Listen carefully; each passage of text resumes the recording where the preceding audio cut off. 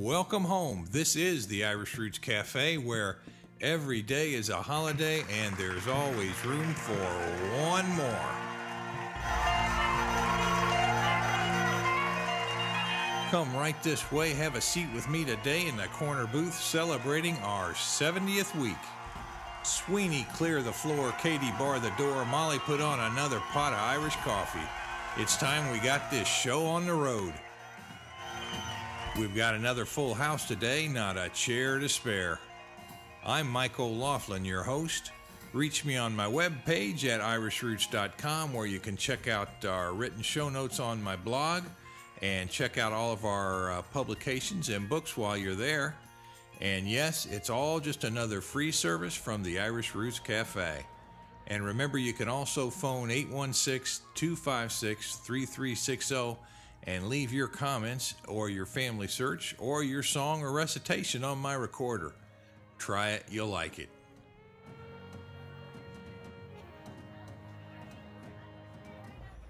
Among today's topics, Shaughnessy is the name of the week. 70million.com is today's webpage. Searching for Shea, Milling, Cleary, Carling, and Lawless. And what's this about a bird flying into stores in Tullamore?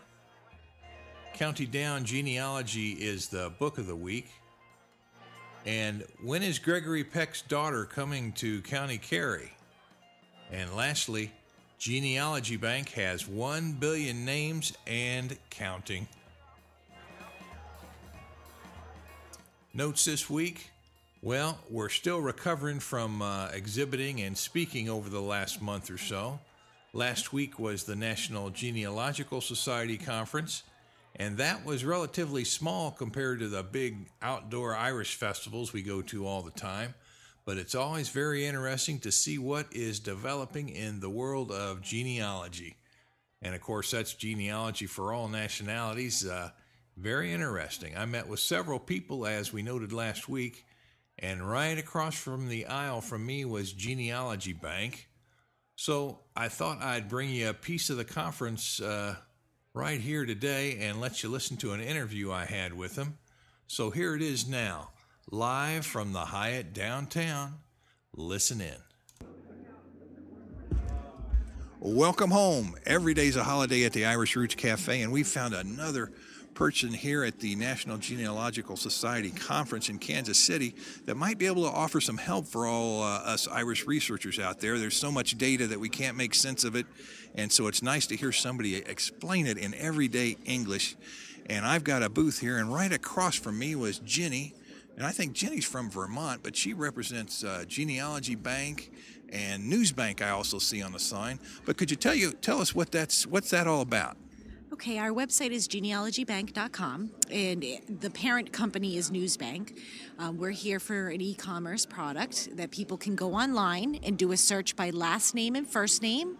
We have different products within it, like historical newspapers, which would cover Boston, New York, um, big areas that have the Irish roots. We go back into the colonial times, even before there were states, though we do have information that covers all of the 50 states.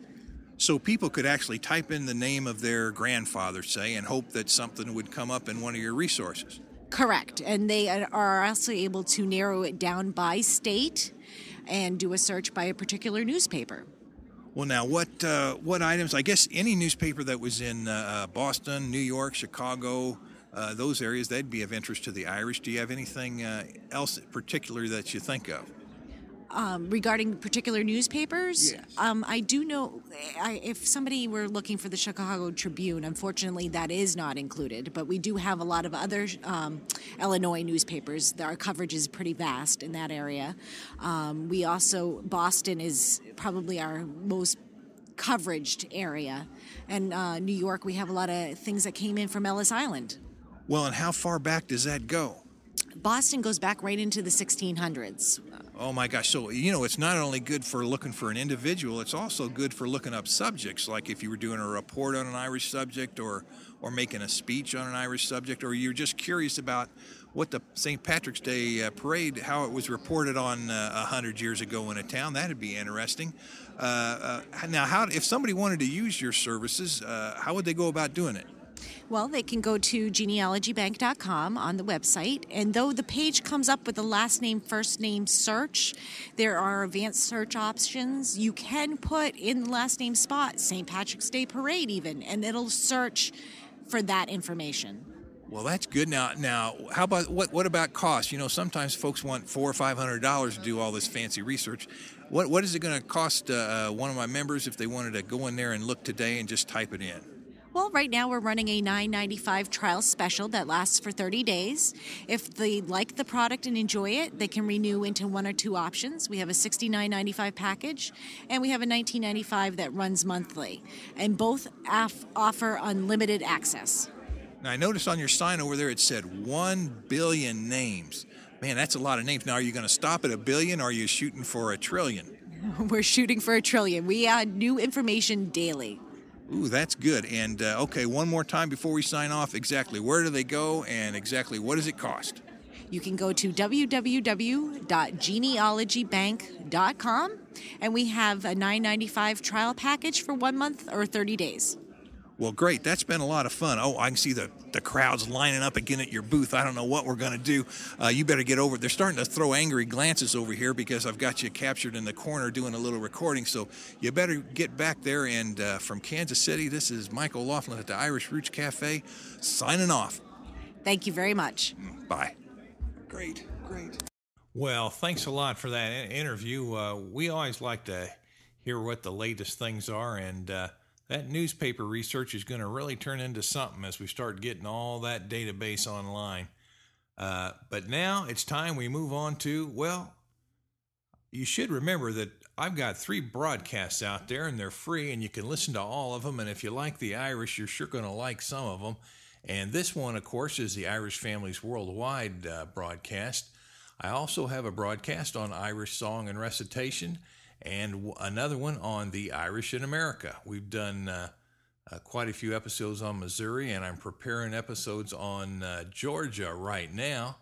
So be sure to stay tuned for those, and you can get them anytime, either on iTunes or uh, on my web page at irishroots.com. But now it is time to move on to the book of the month. County Down, Ireland Genealogy and Family History is the book of the month. And here's a sample extract from the book, as we usually do it. And these, this is the 19th century uh, uh, birth index, really the most common names in County Down, County Down itself. And what are those names? Well, you got names like Thompson, and you can have a P in that, or the P can be left out uh, Smith, Campbell, and the same thing with Campbell. You can put that P in or take it out. Patterson, Martin, Wilson, Graham, Johnston. You can take the T out of Johnston and just make it Johnson. Uh, just depends on who wrote down those records sometimes. Murray, Brown, Robinson, Hamilton, Bell, Scott, and Boyd. Those are the top ranked surnames. So and that's just a few of them that are in the county, but that lets you know uh, who some of the main families were back then. Now let's move on to the map of the four masters. That's a map that shows it's the most extensive map I've ever seen on uh, uh, really Irish families in Ireland. It was put together by McDermott in uh, the Connellan translation of the four masters. And what kind of names we've got? Gosh, I got so many names I can't even include them all. They're on the map, and that's a rare thing. But we've got names like Audley, and of course de Burgo, who was an earl, Copeland, de Courcy, Fitzsimon, uh, Jordan, de Lacy, who was an earl, McCartan, who was a lord, McGinnis, who was a prince, McGilmore, McGowan, Mandeville, Martin, Colgan, Colterin, Mc- O'Connell, MacRory, who was a chief, O'Cormac, O'Donlevy, Flory, Garvey, Hanvey, Hoey, Kelly, Largnan, Lawler, Lowry, who was a she- Lowry or Lowry, who was a chief, Longan, Lynch, Mackin, Mahon, Moore, Moran, huh, Moran, O'Neill, who was a lord, Rogan, Rooney, Lepore, Riddle, Russell, Savage, Smith, Stanton, and White. And that's the end of the extract from the Four Masters. But that just gives you an idea of the wide range of families that were in Old County Down. And there sure was a lot, lot of activity in that county, that's to be sure. Uh, coming up later this episode, I thought I'd remind you birds are attacking shoppers in Tullamore. Why in the world would that be? Well, find out that later and find out if there's a solution to the problem. Right now, it's time to raise our eyes skyward once again, give thanks, and ask for help.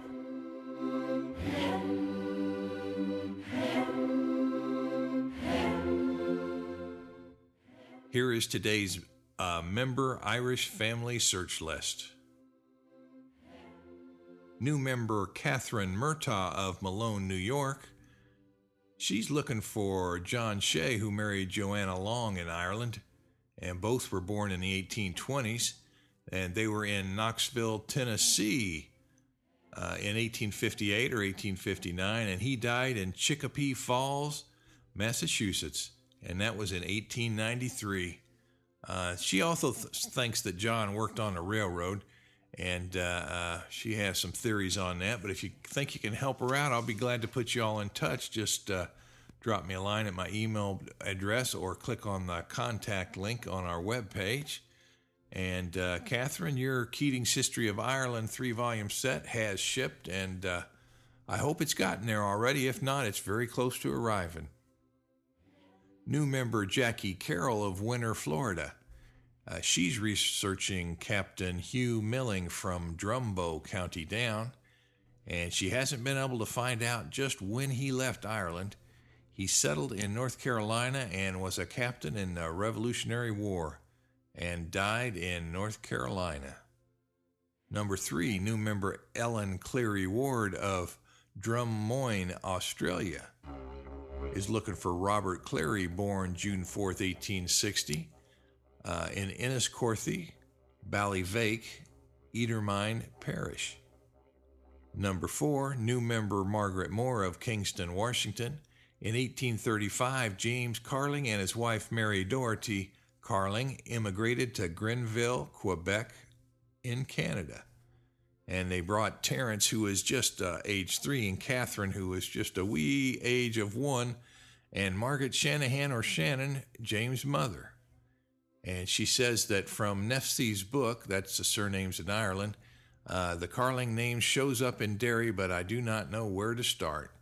Well, of course, if, if you're not sure it's Derry, you have to start in the American records to find the Irish county. That's always the toughest part of the battle. You got to jump the water. And then you divide it up in the county. You start with the uh, county heritage centers in each county and you check out the libraries in each county.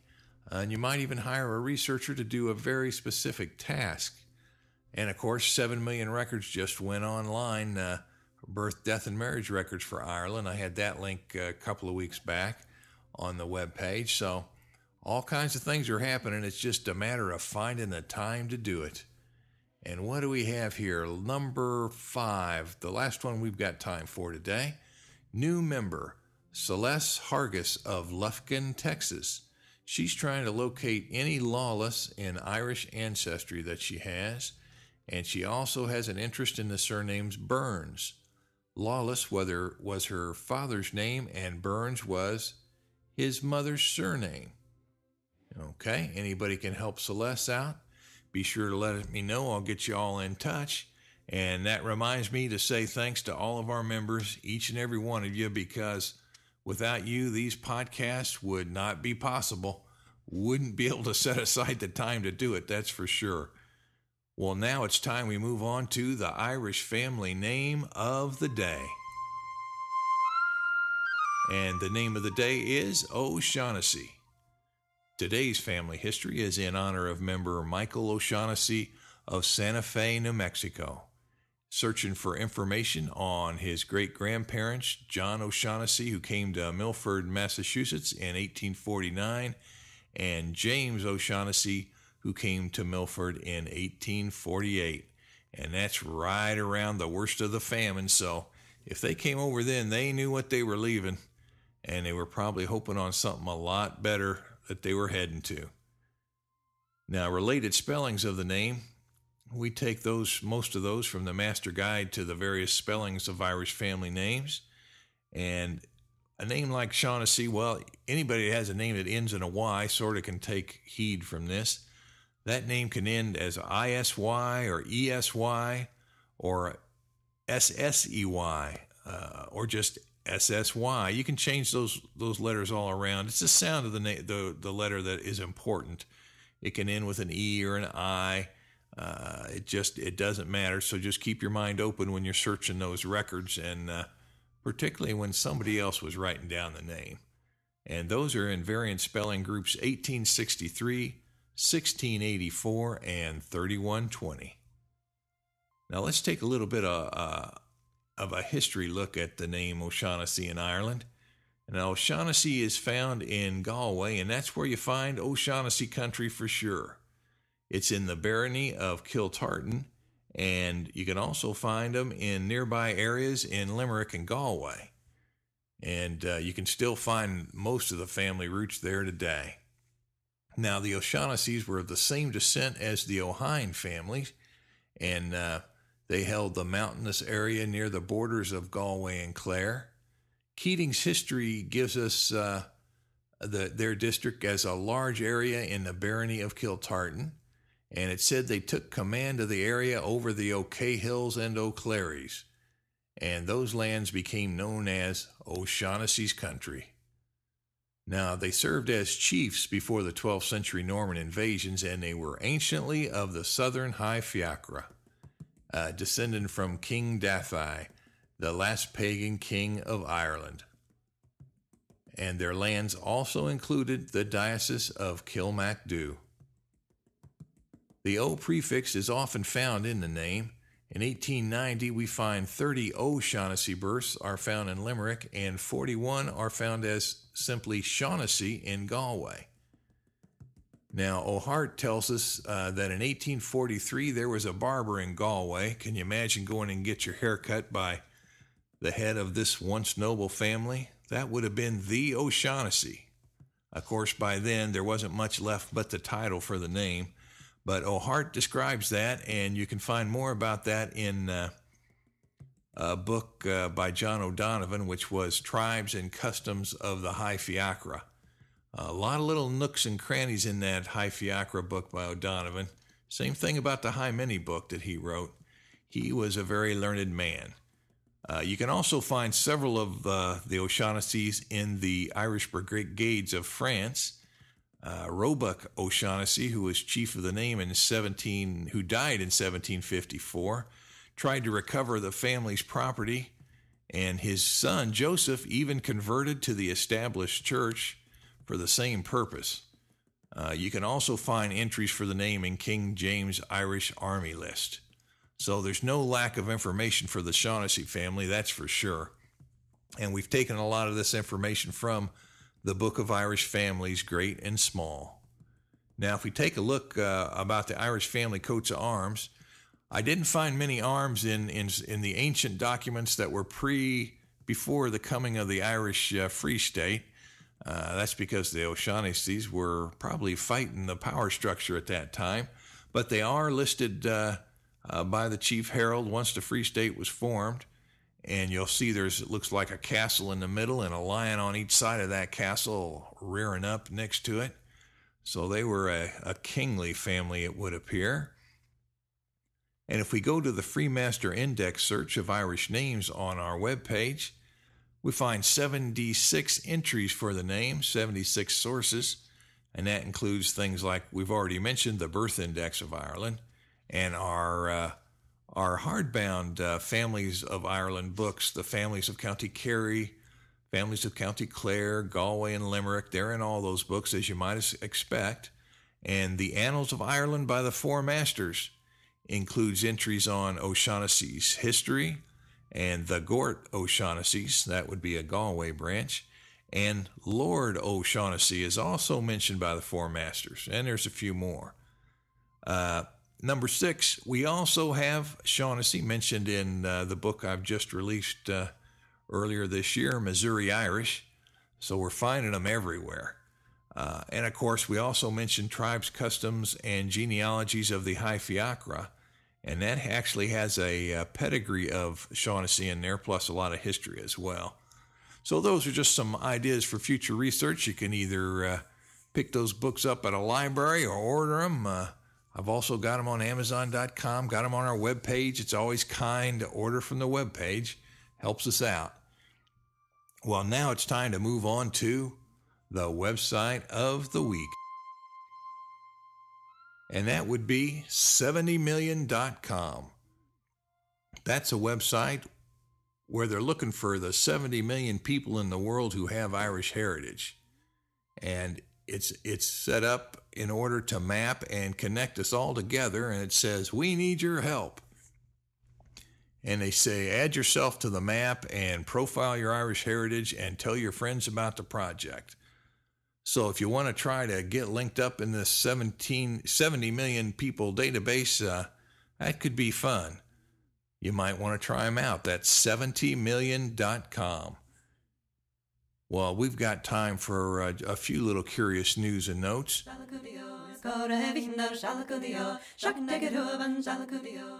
Hey, you know, we talked a few shows shows back uh, and it, we said that Father Flanagan of Boytowns, uh, Boys Town, he looked more like Gregory Peck than, than Spencer Tracy, who actually played Father Flanagan in the movie. Well, Cecilia Peck, the daughter of Gregory Peck, is going to speak at uh, the Dingle Film Festival this year in County Kerry in September. It seems that Gregory Peck's grandmother was Catherine Ashe, who came from Dingle, County Kerry. So, by golly, there was a direct little uh, connection there with Ireland. And number two, here's another strange one. Birds have been flying, swooping right down into the Tesco store in Tullamore, County Offaly in Ireland, and they swoop inside the door and they're swiping items from customers' shopping carts. So they've come up with a plan and they put up some fake hawks and pigeons and uh, made some fake bird sounds being broadcast there on the radio waves. And uh, it seems like it's keeping the birds away. At least at last report, they were. We'll see if those birds develop a uh, sense of intelligence about the matter and just fly right on by those fake, uh, fake mock-ups. But we're glad to hear that it's working for now. And what's this? Here's one last little curious news note. Patrick Ryan and Tom O'Neill are renovating Killahara Castle near Thurles, County Tipperary. And no, it's not going to be another tourist banquet hall, but rather it's going to be a private residence, they say. At least that's what reports say. So if you happen to be a Ryan or an O'Neill, I'm sure you could just stop by and say, Do you mind if we spend the night, cousin? And they'll invite you right on in the castle once it's renovated. Or so we'd all like to think. Well, got time just to mention two little events here, and then we'll sign off for the day. We're still sort of catching up from this busy month. Uh, you might remember Brown's Irish Market. They were the oldest Irish run business in North America, and they had their 120th anniversary celebration last year, and we were there, and it was a lot of fun. It was so much fun, in fact, that they're going to do it again. No, they're not going to do their 120th anniversary again they're going to do their 121st anniversary. And uh, I think I'm going to show up to do some interviews there again this year, maybe with some musicians, maybe with some family history folks. We'll just see. Or maybe I'll just sit down and take it all in. Uh, number two, and the last entry for the day, the Dublin, Ohio Irish Festival is August 1 to 3 this year. And I think we've been there at the genealogy tent for 10 years or so now. Hope to see you again there this year. Well, remember to send your comments by clicking the contact link on our webpage at irishroots.com or send a note by mail to our American address, the Irish Roots Cafe, Box 7575, Kansas City, Missouri 64116. Leave your message or report on things in your part of the world when you call my phone recorder at 816 256 3360 or Skype me at Mick the Bridge. Members foot the bill, so they get first priority, but we're open to all. And by the way, a big thank you to all of our members. And away.